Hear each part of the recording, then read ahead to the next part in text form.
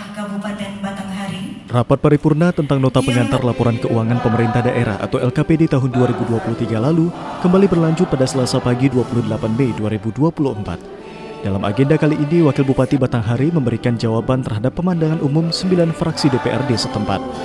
Jawaban pemerintah daerah atas pemandangan umum fraksi DPRD ini didengarkan langsung oleh Wakil Ketua 2 DPRD Ilhamuddin, Sekretaris Dewan Muhammad Ali, dan dihadiri para anggota DPRD, unsur Forkompimda dan para pejabat.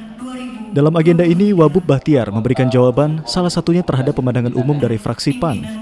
Menurut pemerintah daerah, peningkatan PAD terutama sektor pajak daerah membutuhkan kesadaran tinggi dan peran aktif seluruh pihak bersama masyarakat maupun pelaku usaha di Kabupaten Batanghari. Fraksi Partai Amanat Nasional dalam pemenangan umumnya dapat kami tanggapi sebagai berikut.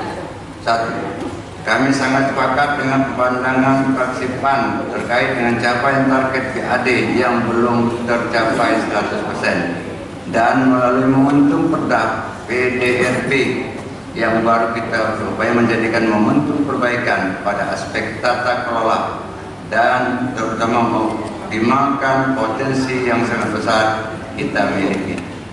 Untuk momentum peningkatan PAD, terutama sektor pajak daerah, tentu membutuhkan kesadaran tinggi dan peran aktif kita semua bersama masyarakat pelaku usaha di Kabupaten Batanghari.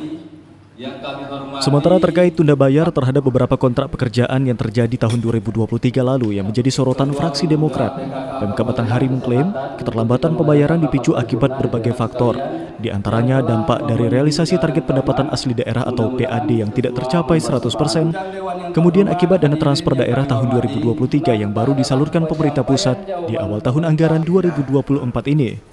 Di samping itu, Wakil Bupati Batanghari Bahtiar mengucapkan terima kasih kepada unsur pimpinan maupun seluruh anggota DPRD atas dukungan, saran, dan masukan yang telah disampaikan. Pemkab Batanghari di bawah kepemimpinan Fadil Bahtiar juga akan terus berupaya bekerja lebih maksimal untuk membangun Batanghari menjadi lebih baik lagi. Pirdana Atrio, Jambi TV